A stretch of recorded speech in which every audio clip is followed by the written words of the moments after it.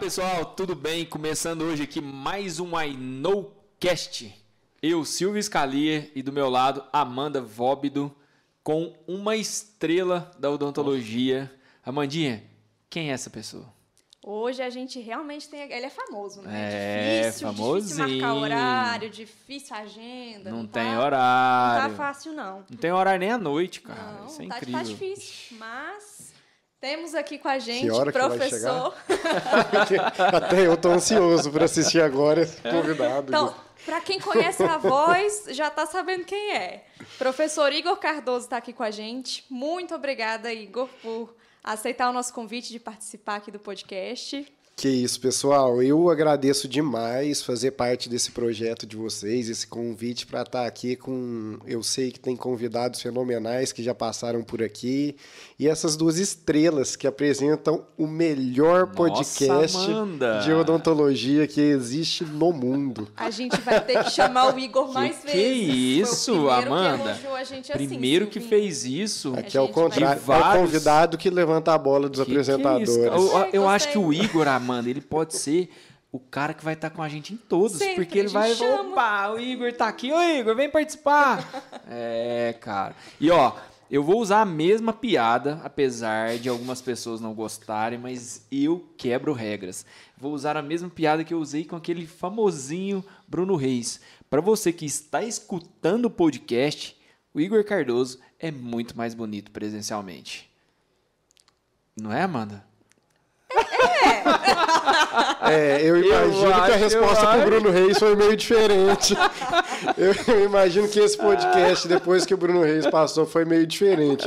Mas que é fica essa difícil de, de comparar Não, Amanda, também. não O precisa falar, é não. Eu joguei errado. É diferente. Tem que falar que ele é um chuchuzinho. Eu joguei errado. Iguinho, mas eu te acho, cara, é o que importa e vamos que vamos.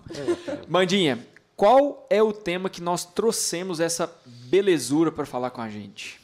Bom, o professor Igor é hoje, eu acredito realmente que seja uma das referências em fotografia odontológica. É, já está dando vários cursos por aí. Os feedbacks são sempre No positivos. Brasil inteiro, pessoal. Então, o tema hoje é esse: fotografia odontológica. Turmas lotadas e tudo mais. E alguns spoilers por aí. E acho que a gente não pode começar de um jeito diferente, a não ser perguntando por que, que o dentista tem que saber de fotografia. Cara, isso eu que sou um dentista, né? Prático. dentista. Um dentista prático. Trabalha com odontologia há muito tempo. Trabalho com odontologia. Essa pergunta aí, cara, eu queria escutar ela bem definida, cara. Por quê? Gente, primeiramente, odontologia hoje em dia, na minha graduação, eu via muito falar de fotografia em odontologia. Os melhores dentistas fotografavam em odontologia e isso parecia muito distante, parecia muito difícil. Equipamentos muito caros, treinamentos específicos, muitas vezes livros muito complexos para se ler e para se entender. Então, na minha graduação, eu via que os tops fotografavam, mas que era muito difícil chegar até lá, era um caminho muito longo. E em pouco tempo, eu digo em pouquíssimo tempo, a odontologia hoje é difícil fazer uma previsão de uma odontologia daqui 20 anos sem a fotografia. E eu destaco alguns motivos, Silvinha e Amanda. Eu, por muito tempo, fui meio sedentário. Tava gordinho um tempo Olha, atrás. cara. E a minha hoje mulher, faz três semanas que a gente casou, né? Ó, A minha atual mulher, ela atual. É, é, é atemporal, é atemporal esse podcast, né? Isso aqui é Isso. atemporal, daqui 30 anos Provavelmente você vai tará, estará tocando escutando e isso. vai estar falando a mesma coisa, cara. Ela é maratonista, assim como você. Ó, eu já sei. Ela já sei. corre 42 quilômetros, Silvinho. É, cara. E eu queria começar a correr, cara. Só que não tinha como eu começar a correr 42 quilômetros. Eu preciso começar de alguma forma. Top. Então a forma de começar é uma caminhadinha, melhorei minha alimentação. Hoje eu já estou correndo 5 km e tudo isso exige um processo. É uma fase de adaptação e é um processo. Não tem como eu chegar para você e falar assim, Silvinho, ou você corre 10 km ou você não corre nada. Cara, que analogia. Ou você corre 10 km ou você não corre nada. E na minha época era isso que acontecia na fotografia. Ou você fotografa com um super equipamento profissional em um estúdio, ou senão sua fotografia não presta. Tipo, ou você corre uma maratona ou você não corre. Ou você corre uma maratona ou você é sedentário, cara. Não tem o um meio termo. Você não pode fazer o um meio termo. Que top. Ou que você tem um estúdio, ou você tem um equipamento de 10, hoje com um dólar no preço que tá, 11, 12 mil reais, um básico, para montar um estúdiozinho, ou nem adianta fotografar. E ainda é passado muito isso, isso para as pessoas. O primeiro curso de fotografia que eu assisti o professor falava isso. Para você ser um profissional de ponta, você tem que fotografar com estúdio, você tem que ter o melhor equipamento. Só que aí, para mim, Silvinho, eu não queria correr a maratona, cara. Eu queria correr 5 km. Para mim era minha vida saudável. Legal, minha vida saudável era 5 km. Eu não preciso mais do que isso. E aí, eu posso usar outros equipamentos, eu posso usar uma câmera sem ter um estúdio, até porque a maioria das pessoas não tem espaço para isso. Então já tem mais dentistas que conseguem fotografar. Eu posso ter o flash mais simples de todos, que é o que a gente chama de flash circular, que é o mais básico, e eu consigo fotografias de primeiro nível. Aí aumenta mais dentistas ainda que entra para o mundo da fotografia. Só que esse nicho que eu estou te falando, Silvinho, não dá 10% ainda dos dentistas. Que eu não consigo imaginar uma odontologia de primeiro nível, e primeiro nível que eu falo não é atendimento caríssimo, não é atender sim, classe A. Sim, sim. É você fazer o seu melhor, é você planejar, acompanhar os seus casos e sempre melhorar, sem fotografia. Quanto tempo isso? Você falou 20 anos, você acha que é isso tudo? Daqui 20 anos não, não, não, o, o dentista não usar nada de fotografia? Cara, daqui 20 anos, o profissional que está hoje, o novo profissional, não que já está sedimentado no mercado. Sim. O novo profissional hoje, que não introduzir fotografia na sua rotina clínica, eu não digo que ele não vai ter sucesso, porque existem vários fatores sim, que determinam o sim. sucesso. Mas que o caminho e a trajetória vai ser muito mais difícil, eu não tenho dúvida disso, cara. Legal. Muito, muito bom. Então, acho que com esse primeiro comentário, a gente já consegue puxar o gancho, né? De várias outras, É, né?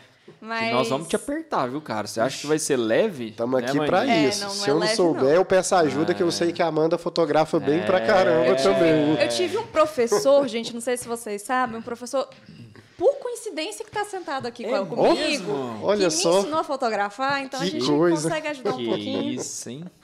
É, mas então, com essa toda analogia que você fez, isso quer dizer que, então, é possível fotografar sem ser com uma câmera profissional?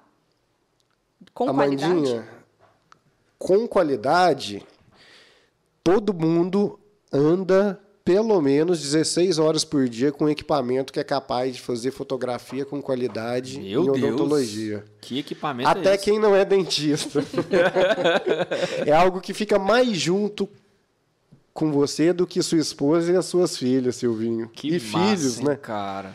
Vários E filhos. filhos, bota filhos nisso. Que é celular, né? Celular, cara. Hoje em dia, com as técnicas que existem, a gente consegue fotografia de qualidade. Eu já gosto de falar que e alertar para todos os críticos de plantão que eu não estou falando e nunca o celular vai fazer a mesma fotografia que a câmera profissional. Legal. Mas é exatamente a questão da maratona que eu falei. Cara, para a Analogia grande perfe- maioria, os 5 quilômetros é suficiente. Analogia perfeita, O mano. que o celular entrega é mais do que suficiente, não precisa mais que isso. Tá, agora eu vou entrar numa polêmica. Ai. E... Lá vem. E eu gostaria que você respondesse, mas assim, uma polêmica que é para ajudar a odontologia. Cara, eu, eu, eu concordo plenamente com você. Agora eu queria que você me falasse, porque existem alguns professores que batem na tecla e nem na aula deles de fotografia citam ou usam telefone, cara. Por que disso? Porque, tipo assim, talvez você não saiba a origem disso, mas existe algo que, que trava isso? Porque, para mim, vendo holisticamente para a odontologia, é um desserviço. Cara, eu não posso fazer algo com algo que não, não chega numa qualidade tão boa, então nisso eu tô perdendo. Então, para mim, isso, por isso que eu, eu vejo que é, é, é polêmico, mas, cara, a gente tá aqui, é para isso, para ajudar a odontologia, e eu queria entender, cara, por que disso? Silvinho, eu vejo isso com dois lados. Um lado totalmente voltado para o mercado e o outro lado pela própria percepção do professor, que ele não consegue enxergar como um todo. O que, que, é o lado do mercado? Cara, o produto da maioria dos professores é fotografia odontológica profissional. Tem professores que só vivem disso, que só vive dando curso de fotografia com câmera. Então o cara não vai queimar o produto dele. Então, existe esse lado mercadológico dele. Entendi. Que ele vai só levantar o que é o produto dele.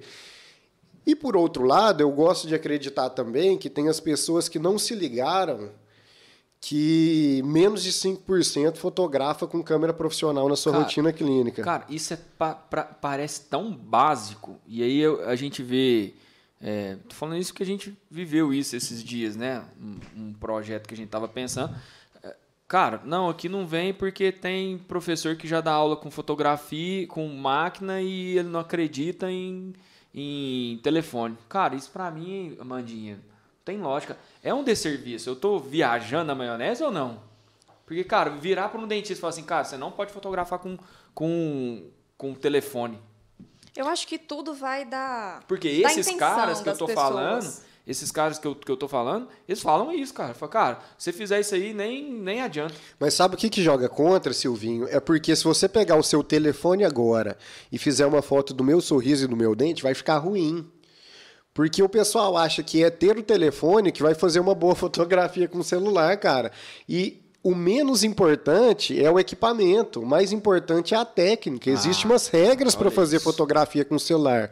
Então, realmente, se você pegar seu celular agora, eu nunca te expliquei nada como fazer.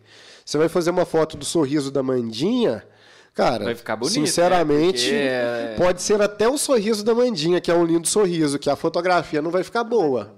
Legal. Não vai. E aí tem gente que leva isso como um todo, cara. Vê a sua foto de você que não é preparado com, com sim, todo respeito, sim, né? Que não tem a técnica, que não estudou para fazer uma boa fotografia com celular, que fica ruim e vai generalizar isso. Vai falar assim: Entendi. olha o cara, ele posta foto com celular. Em contrapartida, o padrão de comparação é um cara que tem uma câmera profissional, que é professor, que dá treinamento e que faz fotografia há 20 anos. Legal, cara. Se o padrão de comparação fosse um bom dentista com uma boa técnica, que também sabe de edição, que fotografa bem com o celular, cara, a distância já não é tão grande assim. Então, então pode também, né? Pode também esse cara que dá a aula somente entre aspas, vendendo o produto dele, fotografia com máquina. Talvez também ele não saiba a técnica, porque tem técnica. Hum. Saquei. Eu saquei. acho que isso é, é, é, na fotografia como é em qualquer outra área. É, coisas novas vão surgindo e não necessariamente você acompanha. Porque Sim. eu tenho certeza que. Que é o esquema da atualização. A primeira aula né? de fotografia que eu assisti do Igor não tinha foto de celular. Legal. Não tinha. Olha, cara. Viu? Já que chegou isso, dando hein? uma voadora no peito aqui Nossa também. Mas Mas é exatamente Mas é, isso, é, é, o processo de evolução, cara. Eu não dava aula isso de celular. Não tem tanto tempo assim. E eu tinha preconceito também. Eu também falava. Eu também falava, cara, profissional nível A, nível B, não fotografa com celular. Cara, e não tem jeito de você chegar no nível A chegando. Você tem que ter passado pelo. Estou falando em relação a técnicas, né? Você tem que ter passado pelo E, pelo D, pelo C para atingir o A e o B, cara. Tudo bem, você pode Cara, é, é, eu acho muito inconveniente acontecer isso, cara. Mas e... faz parte, Silvinho, faz parte da profissão. É. E faz parte da evolução da profissão. Eu acho que esse é o, o legal da gente trazer o Igor aqui. Sim. É, é trazer alguém que está atualizado, que está buscando sempre melhorar para trazer o melhor para o dentista, não é para ele. E... É, entra, entra, desculpa te cortar, entra naquela da de, de da, da, experiência sem atualização, né, cara? Imagina se você estivesse dando aula de fotografia até hoje, a gente ia estar tá falando você. Provavelmente. Sem, sem, sem, sem o celular. Sem o né? celular. Né? Sem o celular. Cara, com certeza. O processo evolutivo, Silvinho, é para quem está aposentando hoje, para um dentista que está aposentando hoje, ele não aprendeu resina composta na graduação, por exemplo. E as primeiras Legal. resinas que surgiram eram horrorosas, horrorosas. Muito ruins, longe do que existe hoje. Que a resina não é plano B. Sim. Um dos melhores cursos que eu assisti de resina também. Longe disso, cara. Hoje resina é fantástico. E o cara que aprendeu na época que resina era ruim, quando surgiu a resina que resina era ruim, ele teve um processo longo para aceitar que resina não era ruim, cara, porque ele viu a resina ruim, ele trabalhou com a resina ruim, ele viu que o resultado era ruim, mas as Ele coisas testou mudam. muito, né, cara? Testou muito e dava errado. E eu acho que aconteceu isso também. Quem dá aula hoje só de câmera, o cara pegou o celular, não é que ele Entendi. foi negacionista totalmente. O cara pegou o celular, ele tentou, ele fez as fotografias, mas talvez não tinha a técnica correta. Os smartphones melhoraram a qualidade da câmera A também evolução do telefone também, né, cara? evoluiu também. E, cara, a gente está numa série de pesquisas de fotografia com celular, fazendo vários testes, que, assim, hoje nós desenvolvemos várias técnicas de fotografia com celular. Então, é algo novo, cara. Não tem como você cobrar de alguém que testou e deu errado Legal.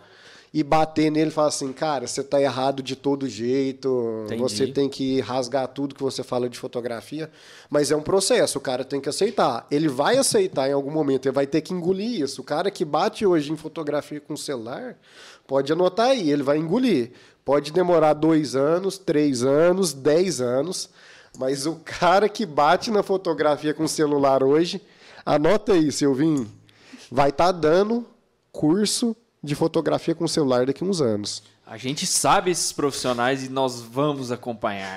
Ah! Pesado, cara. Mas isso para quem trabalha com fotografia não tem como. Cara, é um se, o profe- se esse professor tá me vindo uma- um insight aqui, se esse professor não entender que o telefone. Só lembrando vai- que a gente não tá falando diretamente de ninguém, né? De Assim, ninguém, cara. Professor é uma forma genérica. Isso.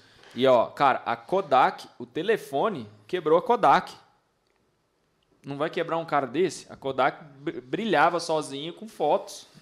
Cara, de repente veio algo que É tava. evolução. Que, olha o que você falou que mais cedo. a evolução. Olha o que você jeito. falou mais cedo. Cara, a gente não larga o telefone nem pra dormir, velho. Ele dorme do seu lado. Aí vem um, vem um produto que quebra uma, uma empresa que nadava de braçada há quantos anos? Então, E aí é, é isso que você tá falando. O cara vai dar aula. Vai, é tempo, então. vai. Legal. E voltando aqui para a técnica, então, um pouco, né, Silvinho? Porque senão o Silvinho viaja, o Silvinho vai longe, Ah, o Silvinho não volta nunca. Fala. Ô, cara, eu não tô aguentando. Já tinha dado aqui Eu uns chutinhos não. embaixo da mesa, não tá Já dando. pisou no meu pé vai- três vezes. Vai, vai com Entre calma. tapas e beijos. Eu Ah, gosto dessa Amanda. relação desse podcast ali. Amanda. Te odeio, mas te amo. É, é bacana, é bacana. Vou repensar meus atos. Isso mesmo, tem que pensar mesmo.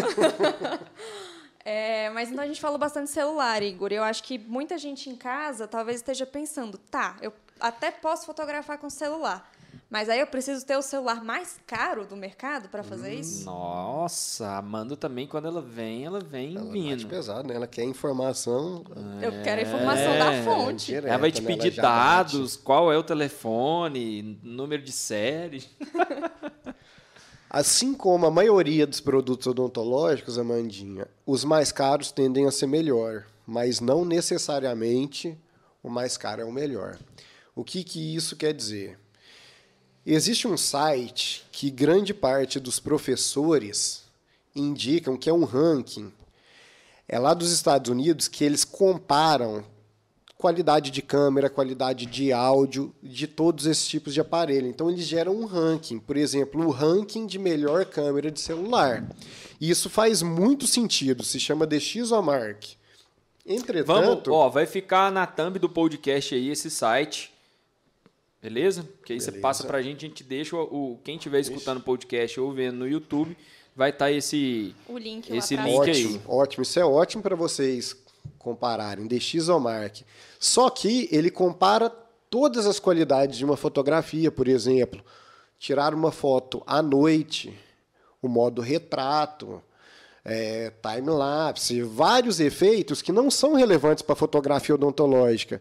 Então, talvez o fator que é mais relevante para a fotografia odontológica ele pode ser bom, mas ele tem uma fotografia noturna ruim, então ele está lá embaixo no ranking. Então a gente não pode ter isso como verdade. E nós estamos fazendo vários testes com vários aparelhos e gerando o nosso ranking de telefones quais são os melhores. Que legal. Só que eu cara. já adianto alguma coisa. Essa tabela funciona, tem uma lógica, mas ela não está 100% correta. Existe telefone de R$ 1.500 que fotografa melhor do que telefone de 6, 7 mil reais. cara. Olha isso, Para cara. odontologia, fotografa melhor que telefone de 6, 7 mil reais. Vou dar um exemplo de modelo aqui hoje, começo de 2021. Um A51 ou um A71 da Samsung, um A51 hoje está por volta de 1.300 reais, 1.200 reais. Para fotografia próxima, para fotografia de sorriso, ele fotogra- fotografa, por exemplo, melhor que um iPhone 11, cara. Olha que A gente legal, consegue cara. mais detalhe do que um iPhone 11. Acho Assim, que isso vai é dar pouco. briga, hein? É pouco. Vai dar briga a diferença é muito tá. pouco, não é? Não, a gente, a gente só tá batendo na, na Apple, coisa à toa. Não. Quase ninguém vai escutar isso. Assim, é né? lógico que a Então, diferença não é gritante, é uma diferença nos detalhes. Mas é que não necessariamente o mais caro é melhor. Que é pra pessoa que tem o celular mais simples saber que ela pode usar aquele Ela celular pode. também. E dá mais acessibilidade à odontologia para que, cara, se flua melhor com a odontologia. Simples, né, velho? Cara, o aluno da graduação, o recém-formado, aquela pessoa que existe demais, que não tem saco e que não quer aprender a fotografar com câmera. Se ela aprender uma boa técnica para fotografar com celular, ela vai conseguir fazer o antes e depois legal dela para comparar o seu trabalho, para conversar com o paciente, para padronizar melhor. Cara, muda, muda a rotina clínica de quem não tem a fotografia. Muda totalmente. Em cima dessa técnica, o quanto é, é isso impacta no, no processo do, pro, pro dentista no dia a dia, cara? Ter ou não ter? Cara, primeira coisa que, o, que eu acho que é relevante é que a técnica é 90% do processo. A forma como ele vai fotografar, o que ele precisa ter e o conhecimento. E o aparelho é 10%. Olha só. Então a técnica é 90%. É lógico que 10% é uma quantidade relevante, mas a técnica ela está entre 80% e 90% do conhecimento. Agora olha só, Silvinho. Aí a indicação de fotografia entra para geral, seja com celular, seja fotografia com câmera profissional. Cara, comunicação, seja com laboratório, seja com outras especialidades. Eu, por exemplo, eu faço só dentística e prótese. Eu preciso mandar para a minha pério, eu preciso mandar para o meu protético, é só com fotografia. Hoje, infelizmente, quem trabalha com reabilitação, quem faz laminados cerâmicos, coroas anteriores, protocolo, cara, no modelo de gesso, o protético com modelo de gesso na mão, ele não tem noção de cor, vai dar muito erro, não vai trabalhar com um serviço de excelência, vai dar mais repetição. Olha e repetição é, é custo, repetição é dinheiro. Então, o primeiro ponto é comunicação. O segundo ponto de fotografia hoje, uma simples fotografia com celular, às vezes nem precisa de técnica, muita técnica, que é o aspecto legal. O que, que isso quer dizer? Se eu roubar o seu celular aqui, Silvinho,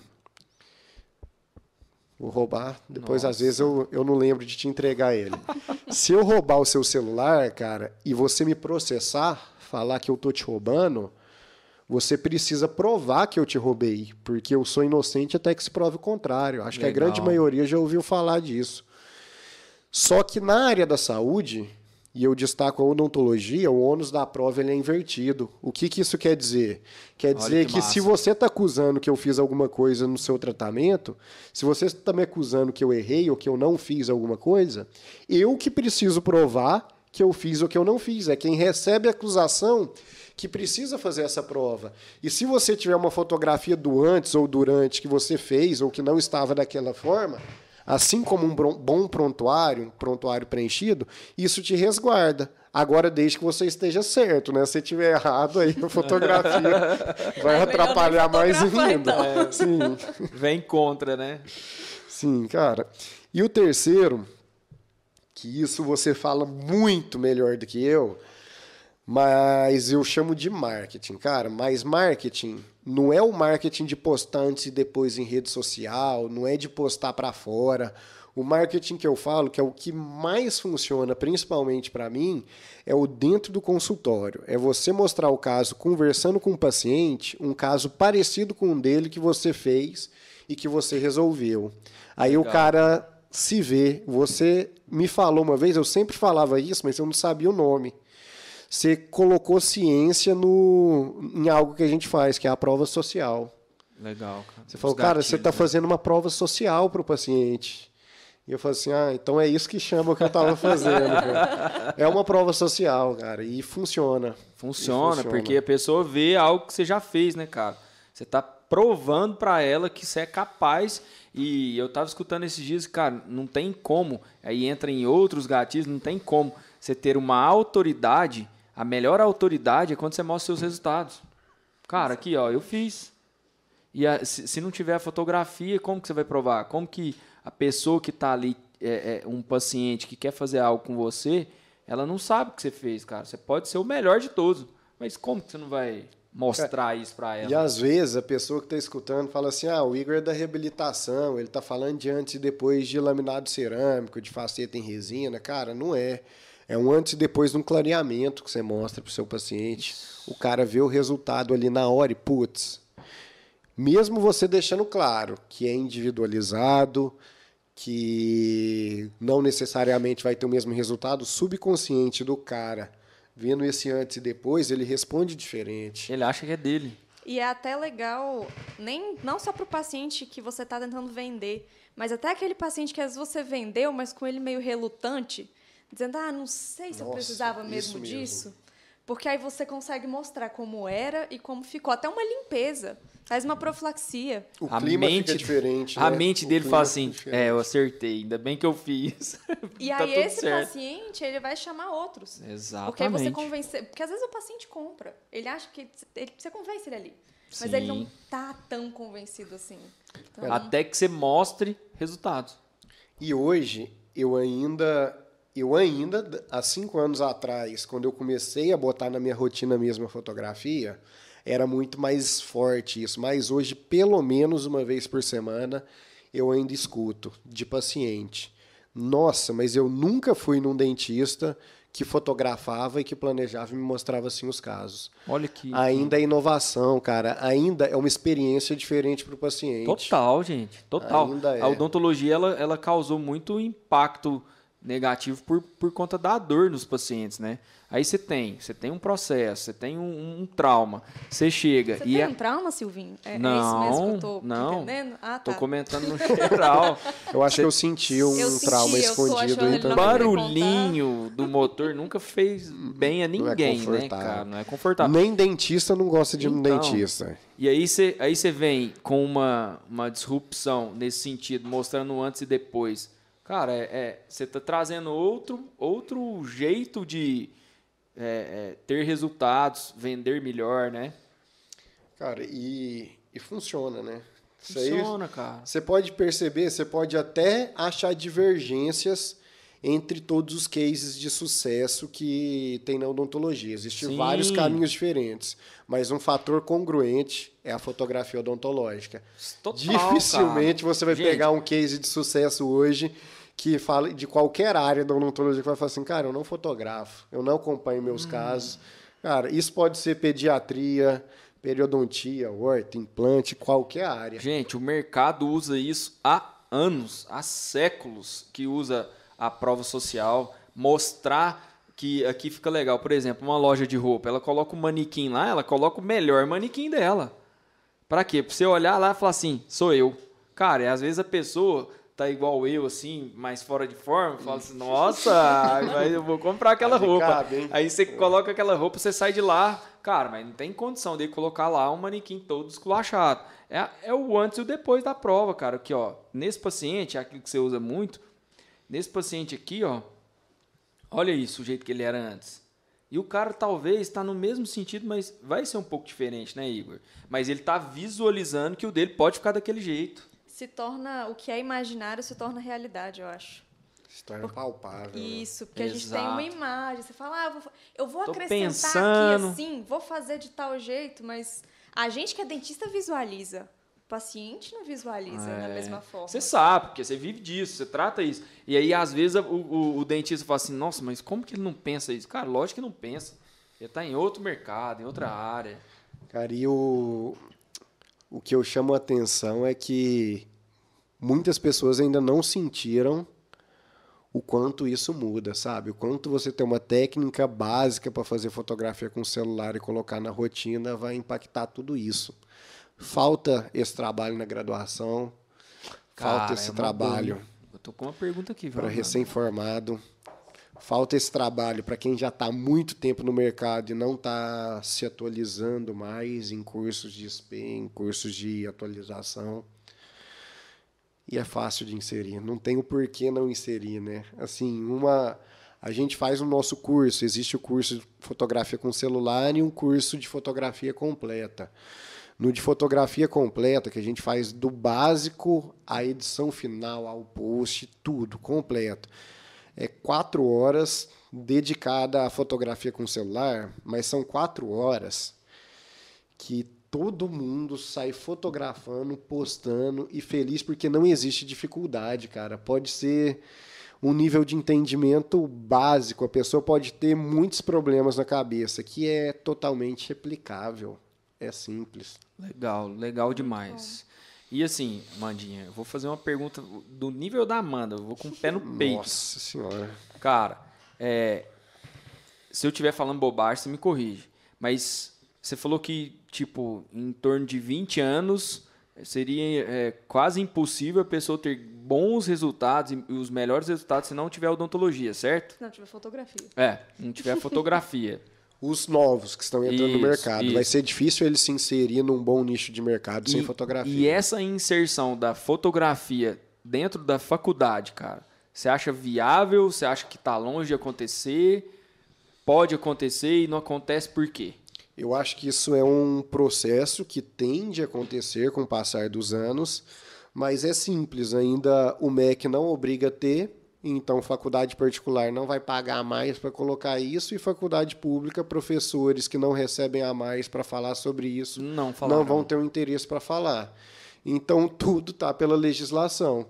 Dentística hoje é obrigatório, tem que fazer restauração todo mundo. Periodontia tem que ter um entendimento pelo menos básico de periodontia básica e cirúrgica, porque está na emenda. Agora, fotografia não está. Então é lógico que eu estou generalizando, mas todo mundo sabe que isso é verdade para a grande maioria. A faculdade particular, ela não vai pagar a mais para oferecer isso para os alunos, sendo que não é obrigatório, de forma geral. E a faculdade pública vai ter que ter algum professor que se voluntarie a abrir essa disciplina, fazer, porque também não é obrigado. Já tem, existem casos disso. Na faculdade de De Uberlândia aqui, foi a primeira faculdade do Brasil a ter fotografia para graduação, cara. Era uma matéria optativa, era uma das legal, mais cara. disputadas, dava fila de espera. Era difícil fazer a seleção dos alunos. Eu dei aula lá, a Mandinha deu aula lá e ela foi aberta pelo professor Paulo Vinícius. Ele, Legal, cara. cara, ele tem uma visão diferente. Ele entendeu fotografia, ele voltou do pós-doc dele nos Estados Unidos e falou: vamos abrir a disciplina. Se eu não me engano, acho que a cronologia foi essa. Ele voltou falou assim: cara, tem que ter isso no Brasil. Lá fora tem. Os alunos têm que aprender. Só que aí ele foi na boa vontade. Assim, não ganhou nada mais para isso, abriu uma disciplina optativa. A gente também aprendeu muito nessa disciplina. Para a gente foi ótimo passar lá. Eu dei aula lá, acho que três anos. E foi quase que uma faculdade para mim.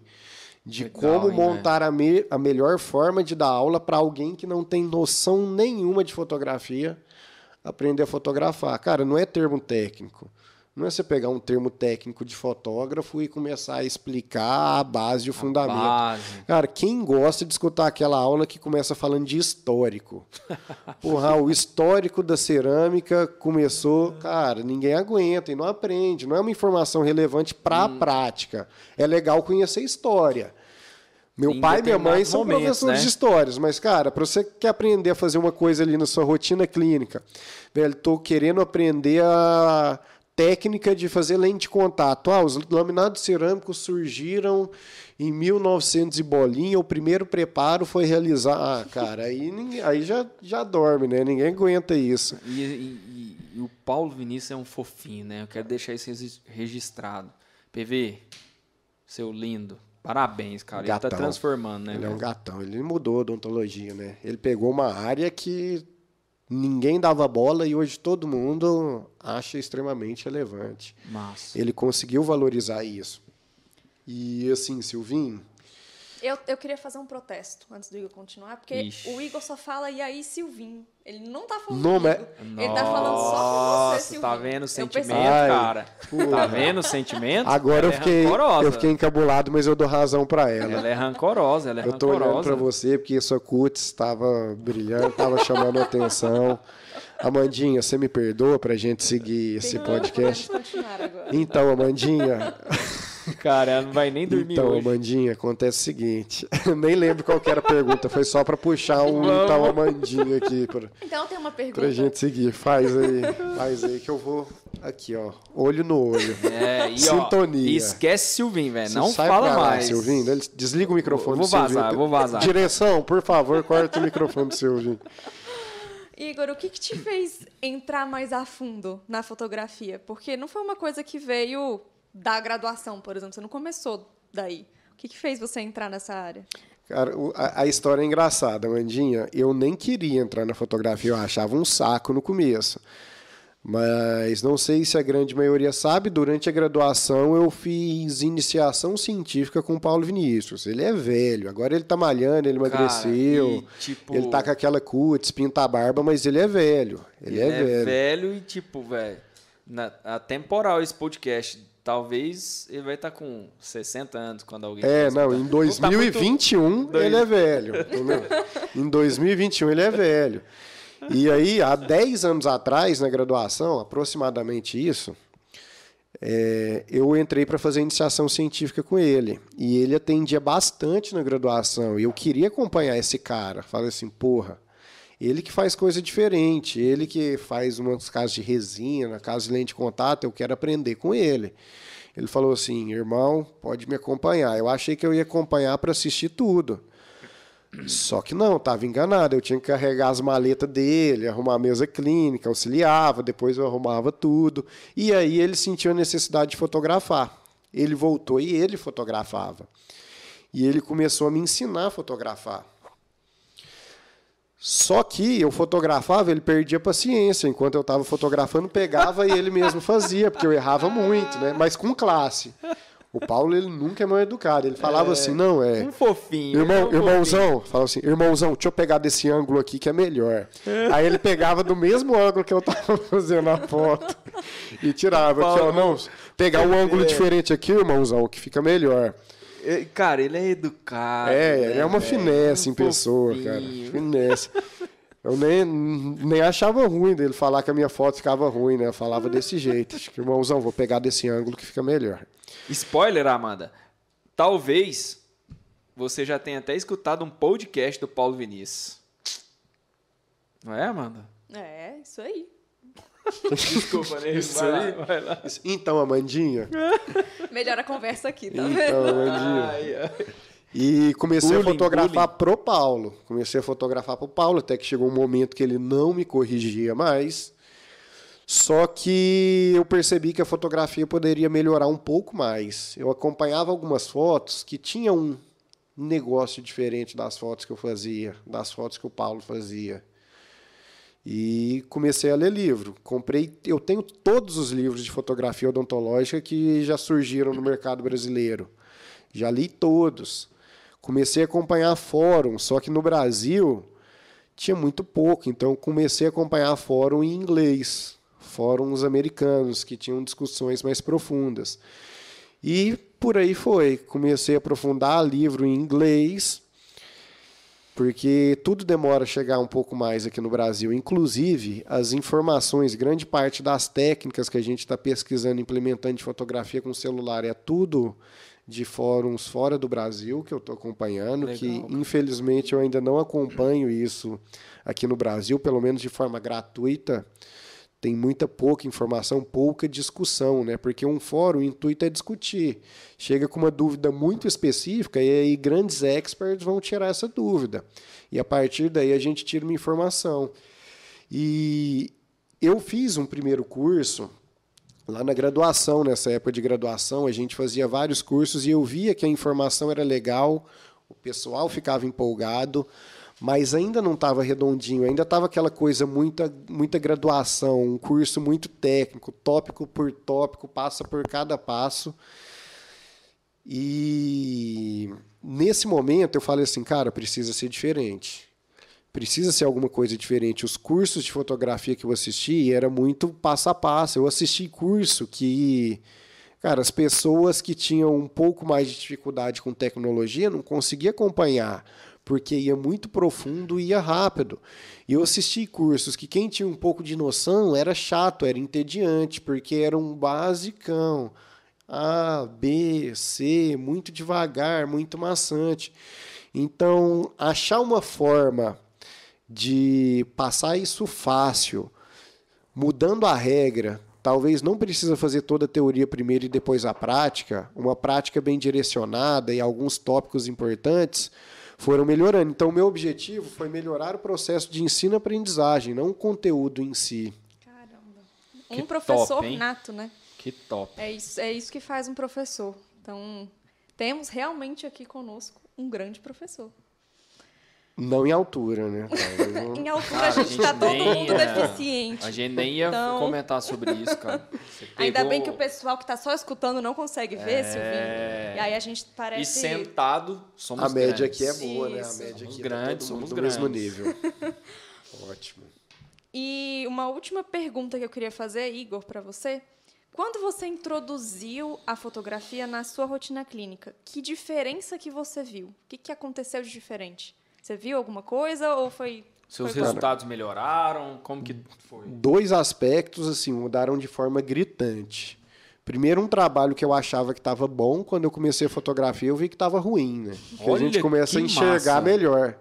A gente começa a ver detalhes. Então, às vezes, passava uma restauração, nossa, ficou bacana. Com a fotografia, eu via muito defeito.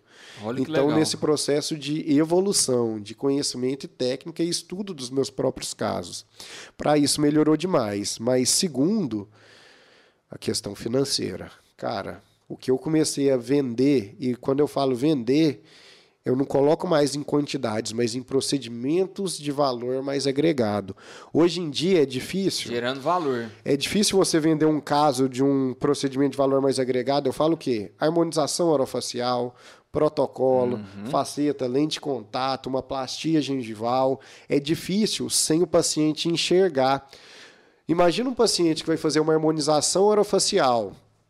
Chega para o dentista, ele já pesquisou, cara. Ele sabe quanto que custa, ele sabe como que faz, tem vídeo no YouTube mostrando, tem até dentista fazendo o próprio procedimento nele mesmo, que o cara já assistiu.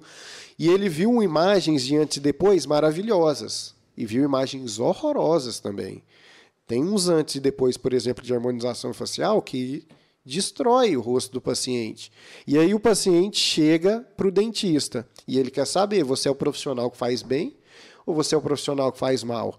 Hoje, o falar vai ficar bom, normalmente é muito pouco. Para um procedimento mais caro, você chegar e falar assim, não, vai ficar bom. E eu falo isso, por exemplo, do laminado cerâmico. Eu gosto de citar esse exemplo. Você digita laminado cerâmico no Google, dois casos maravilhosos, o terceiro link, hoje ainda, é Simone Simária, não sei qual das duas, quase perde o dente com laminado cerâmico. Tem o caso do Kevinho, que desgastou quase todo o dente dele, que todo mundo já viu. E tem casos lindos. Ou seja, o cara chega no meu consultório querendo lente de contato, laminados cerâmicos, sabendo que pode ficar ótimo que pode ficar horrível. Como que eu vou provar para ele? Eu vou falar assim, não, vai ficar bom? Cara, isso é muito pouco hoje, É né? muito pouco. Hoje trabalhar A com tecnologia- informações palpáveis, a minha venda de valor de procedimentos com maior valor agregado, putz, aumentou 100%. Cara, e pra mim foi impactante essa, essa parte de, cara, eu, eu melhorei meu clínico com a minha visualização de uma fotografia. Cara, eu vi que não estava tão bom e a partir de então. Tanta Cara, gente isso é muito pagando forte. curso caro e podia Então- estar aprendendo com os próprios casos. Que, que, que isso, que top. Pra mim, isso é, isso é, Que é, é mais. insight, hein, Amandinha? É. Nó. Amanda. Tantas pessoas pagando cursos caros e, poderia aprender com uma simples fotografia. Eu posso usar essa nas minhas Fica aulas agora? Você me libera? Cara, tem que. Essa aí vai entrar. Que massa. Parabéns, Amanda. Gente, então acho que estamos finalizando. Queria agradecer muito ao professor Igor por ter estado aqui com a gente. Acho que isso aqui vai acrescentar muito para quem está nos escutando. É, abre muitas portas. Eu acho que a- as pessoas vão conseguir enxergar um pouco mais longe. É, para quem quiser acompanhar um pouco do trabalho do professor Igor, é, ele, no Instagram dele tem muita coisa legal. O Instagram dele também está aí na descrição. E ele também publicou um artigo no I Know Journal, no volume 2, número 5, um artigo com o protocolo fotográfico. Então, para quem quiser ver lá, é o protocolo com câmera profissional. Quem quiser acompanhar, tá lá no nosso Know Journal. Qual é o seu Instagram, cara? Fala, vai estar na thumb, mas fala para as pessoas. Já entra aí, né? A pessoa tá escutando o podcast enquanto tá correndo e já Isso. entra no Insta lá. É Igor O Cardoso. Igor com I, O Cardoso. Show de bola. Vai estar tudo na nossa thumb aí do podcast, do videocast. Iguinho, cara, que prazer ter você aqui. É, hoje eu me considero seu amigo. Muito obrigado aí pela sua presença no nosso I Know Cast. O nosso, a nossa missão aqui, né, Amandinha, é poder ajudar a odontologia com casos, com, com particularidades e a fotografia faz todo sentido para que a odontologia seja cada dia melhor. Muito obrigado. Suas palavras finais para a gente terminar. Eu agradeço esse espaço que vocês abriram aqui para mim para tentar difundir isso. Eu acho que a minha missão hoje é mostrar que fotografia odontológica, ela obrigatoriamente tem que estar na rotina de todo mundo e que você tem equipamento para fazer isso. Todo mundo tem, pode ser o celular ou pode ser a câmera, só precisa colocar um pouquinho de técnica. Obrigado primeiramente a Amandinha, que conduziu muito bem esse podcast, que foi genial, Brilhantemente. brilhantemente. Obrigado. Valeu, Silvinho, meu irmão. Obrigado, irmão. Obrigadão, Obrigado cara. mesmo. Quem Valeu quiser saber demais. mais do Iguim, acompanha no Instagram dele. Tem cursos para todo lugar no Brasil inteiro. E fora. Iguim- E, fora, já tem marcado projeto. também. A pandemia que cortou, Que tá mas segurando. temos cursos fora já agendado. Olha aí. Valeu. Então, quem quiser saber mais de odontologia da fotografia, Igor O Cardoso. Isso aí. Valeu. Valeu, Obrigadão, pessoal. Até o pessoal. próximo podcast. Grande abraço. Beijo a todos.